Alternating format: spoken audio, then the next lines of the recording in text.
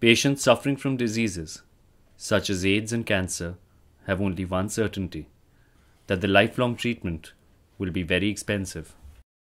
A month's dosage of Glivec, a necessary anti cancer drug, costs rupees 1,20,000 in the market. Glivec is one of the best selling drugs of global pharma major Novartis. Is it fair that life saving drugs are only available to the wealthy and privileged? What duty does the state have to ensure its citizens' health, particularly when it may infringe on corporate profits? Over the years, uh, uh, I, I, used to sleep every day, you know, uh, drenched with alcohol, thinking that I might not wake up tomorrow. That's what I've been going through. At that point of time, um, I was all alone. I was, you know, working on my own in hotels or call centers and supporting myself.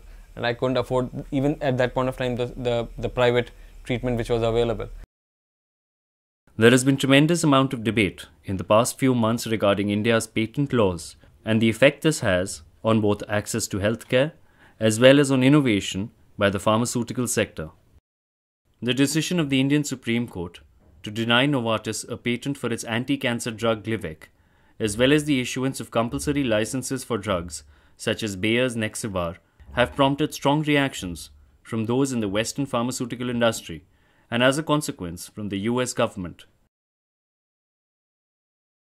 Since the 1990s, U.S. trade in goods with India has flourished into a relationship with nearly 600 billion a year. The pressure on India to modify its patent regime is being slowly ratcheted up.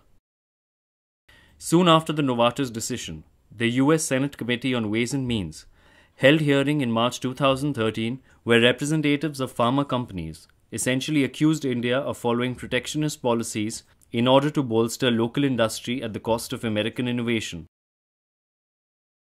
The pharma giants, of course, recommended firm leadership by the US to ensure that their market shares in emerging markets are not eaten into. Accordingly, the committee called on India to rethink its IP laws or face possible trade sanctions. This was quickly followed by the issuance of a US Special 301 report in May 2013, which, other than placing India on a priority watch list, for IP violation once again highlighted the adverse reaction of the US government and pharma industry to the Novartis decision.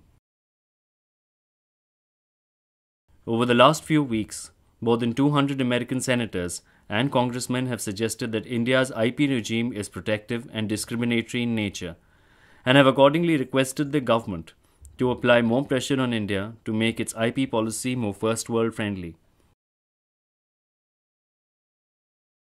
Of course, these issues dominated the recent visits of Kerry and Biden to India. The pressure being brought to bear on the Indian government by countries such as the US, who are acting to secure the interests of pharmaceutical MNCs, directly contradicts the flexibilities permitted by TRIPS, in particular in the public health space. The 301 report and the other instances cited previously beg the question as to why bilateral pressure is being applied rather than just taking India to the WTO dispute settlement mechanism if its laws are indeed against the international norms. The answer, however, lies in the TRIPS flexibilities built into the WTO agreement.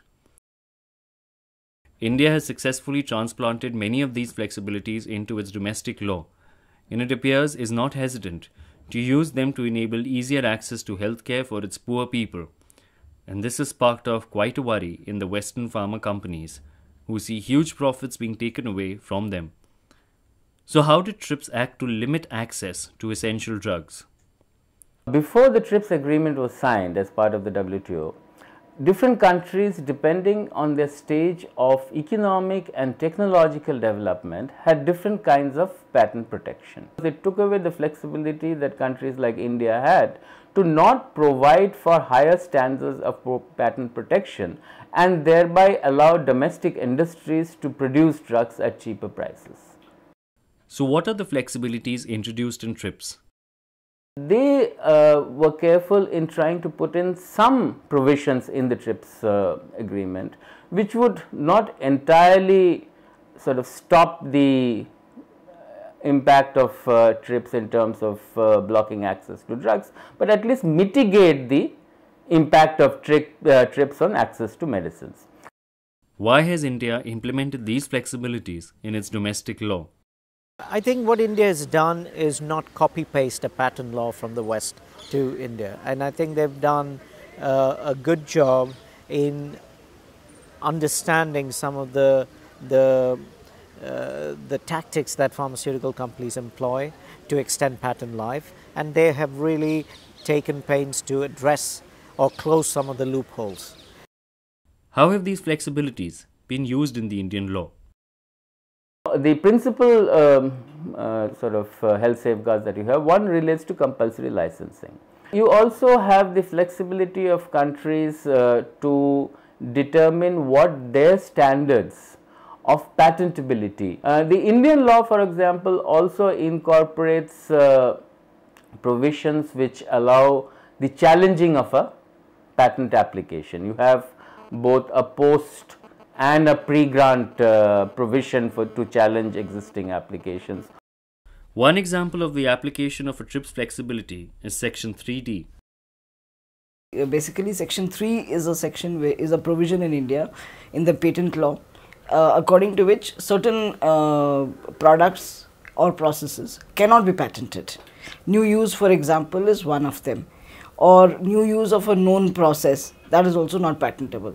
After the 2005 amendment, one uh, explanation was added to the effect that if a particular polymorph or a derivative or a metabolite or any such substance was to be patented, then in the pharmaceutical field, it is necessary to demonstrate enhanced efficacy of that polymorph over anything which is known.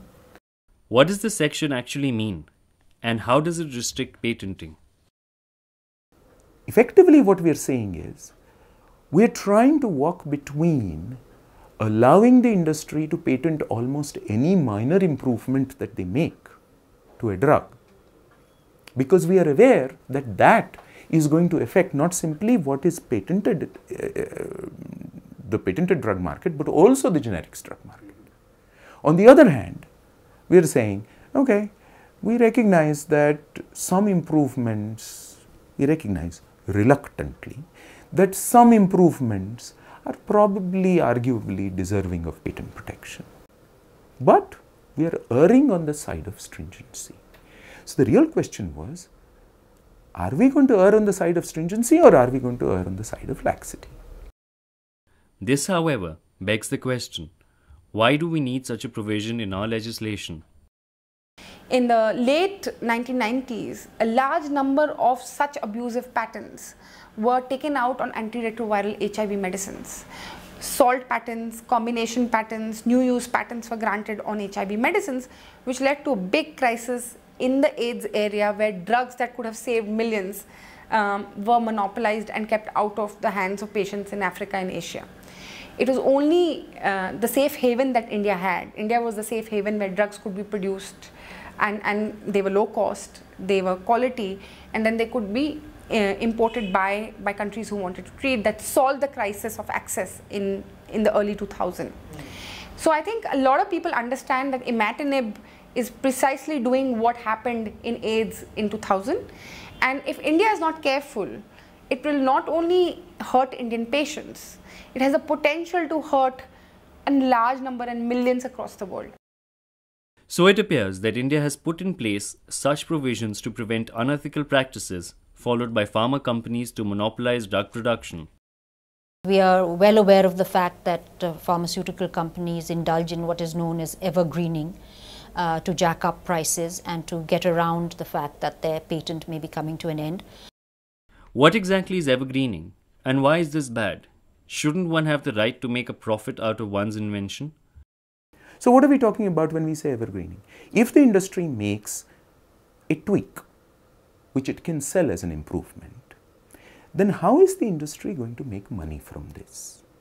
So, one way of thinking about it is the following. The industry, because it has had unfettered brand name familiarity over the life of this blockbuster drug, right? Yeah. We, we, we call it Glivec. Yeah. We don't call it imatinib. As a result, if the industry says now that we have a better version, what they are doing is seamlessly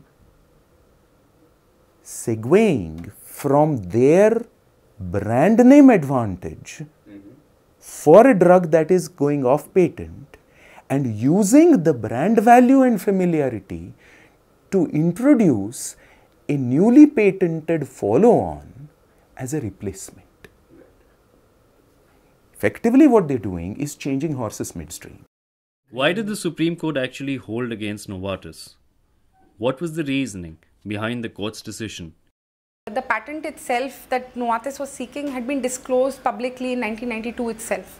Uh, seeking a patent years later in India again on the same um, discovery or invention as people like to uh, call it was just not something that the Indian Patent Office or the Supreme Court, Court could condone. Effectively, consider what the courts in India have decided, both the High Court in Chennai and the Supreme Court uh, more recently. They have not actually made a technical judgment of their own.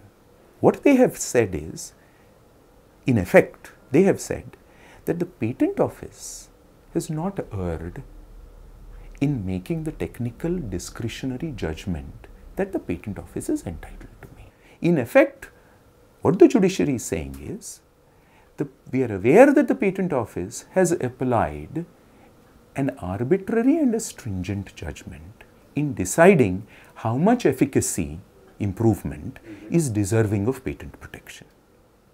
However, in our judgment, by the reading of the law, this much of discretion in making that technical judgment does actually belong to the patent office. And therefore, we see no reason for us to interfere in the matter because no injustice has been done. Given the numerous and often contradictory claims in the media, how is the decision likely to affect patients as well as pharma companies, both Indian and foreign owned? You would have new technologies, new products, which were which uh, new medicines which would come to the market, but unfortunately, most of them are and today even till today are extremely highly priced. They cost you one injection, one uh, dose costs you about two lakhs, so it's extremely expensive. Most of these doctors they prescribe these very uh, expensive antibiotics to to our patients. What they do is uh, let's say if, if, if, a, if a doctor has been given uh, has given you prescribed you 5 days of dosage the the patient will go to a chemist shop. He'll ask the price. He knows that he'll not be able to afford the 5 5 days of medicine. What he'll do is he'll take only 2 days of medicine. That's that is all what he can afford. So he'll take those 2 days of medicine thinking that that will cure him up. And uh, he takes two doses of, and because of which many Indians are getting drug resistance because of these antibiotics. It meant a large number of drugs would have got patented, which basically means that there could be two scenarios. Once uh, the drugs that are in production are in the market, those companies would face patent infringement from multinational companies and that would have a chilling effect on local production in India and supplies to other developing countries. Fundamentally, I think the fact that you know drugs that are produced in India are used by the Indian market and Indian patients, um, and also procured by different government agencies, whether it's defense or CGHS. So it has a direct impact locally. Uh, number two is this that you know many many countries, including governments, uh, funders, international agencies, buy medicines from India. Indian production of generics is particularly important to enable access to drugs in other parts of the developing world, which do not have local manufacturing capabilities. This also earns India tremendous goodwill. For us as an organization that treats about 8 million people uh, a year and we have about 250,000 patients on HIV treatment alone, uh, this, is, this is a good sign. As you know, uh, patients on HIV, they're on first line drugs, they move on to second line, third line, and as uh, and these patients need newer drugs and better drugs uh, as time goes by. And the implication of this is that it, there is a possibility for generic production to continue and that a clear signal to pharmaceutical companies that they cannot just uh, uh, you know, file frivolous patents. Novartis claims that access and pricing are not a problem, as it provides free Glivec under its patient assistance program. But can such a program, however well intentioned, be a systemic answer to a country's healthcare needs? India is a huge country, and, and if you look into the global aspect, there, there's so many people who need it. Novartis cannot go ahead and provide it to all the people who, who really need it. In addition, one is unsure of the criteria needed to qualify for the patient assistance program. It would be interesting to know how they pick the, uh, their clients uh, because um, I think many of uh, the, the patients aren't even aware that something like that exists. Unless it's brought to their attention uh, by a concerned doctor or perhaps by a social worker, most of them won't even be aware of this. So, did the doctors inform you about the program? How did yes, work? they said that they have um, a section over there which deal people who need this medicine because this medicine is only for CML patients. My papers and all, everything was clear, and I was informed that now I've been enrolled and and every three months I get now I get it every four months. I get four boxes of Glivec. These programs are actually unreliable. Many times we have found in case of uh, HIV and other drugs that these programs have, ac have actually been stopped. Sometimes they have been resumed. It is also a fact that Novartis's patient programs lack reliability, from threatening to stop sales of Glivec if pricing cuts were carried out, to random cancellations in patient programs. One doubts whether such programs are actually all they make out to be, rather than just an attempt to hoodwink the public. This is why the Novartis decision is so important. By ensuring generic production, costs are lowered substantially, thereby ensuring easier access. So our hope is that with uh, Glivec now uh, becoming um, more affordable, at least the state governments can step in and provide this drug free of cost uh, to cancer patients, I think, which will be the best solution. The cost is good, but it is not accessible by everyone who need it. What the point here is that if it is being provided by the government, then it is uh, accessed by the poor and the rich equally. equally. I've been told that this medicine will be for life. So I hope that the medicine will continue to be provided to me. I'm truly grateful to Novartis and Max Foundation. Just like Ragini, most patients who have received free Glivec will undoubtedly be grateful to Novartis. However, is this an answer for all patients suffering from CML? But what I can say is that health of people or ability of uh, a person to seek healthcare should not depend on the charity of pharmaceutical companies. What we want is affordable treatment. What we want to see is competition that would drive prices down. And the cost of uh, research and development that they keep talking about, there's, there's no number really. Another claim made by pharma companies in the wake of the Novartis decision is that such interpretation of IP law will adversely affect innovation and pharma spending on R&D. Novartis points out to how it has spent close to a billion dollars to produce Glivec to justify its contentions. But is this true? Take the example of Glivec. People who worked on chronic myeloid leukemia, which is the blood cancer against which Glivec is primarily used, uh, had no idea what sort of drug might eventually come about. All of that work is academic work spread out by government funding into multiple laboratories, some of which do more interesting work, some of which do less interesting work, all of which contribute little bits and pieces of the puzzle. But since we didn't even know what the shape of the puzzle was, it's all put together retrospectively over many years. So, how can one actually put a price on the creation of a drug like Glivec? Paradoxically, all sorts of arbitrary numbers tend to get put on the creation of a new drug. The billion dollar uh, number that is bruited about 700 million, 800 million, 300 million, um, all sorts of numbers are thrown around. The reality is that a very substantial amount of the effort in actually conceptualizing the drug in terms of what is the process that you want to stop, what sort of molecules might conceivably this process, This is in the academic realm and it is completely chaotic and spread out. Sort of quasi random, if you will. Crucially, is stronger enforcement of patent laws a guarantee of greater innovation? Well, I mean, even before this decision, I mean, for the past many years, uh, there has been a real concern that the current patent system is not delivering the kind of innovation that it should be delivering.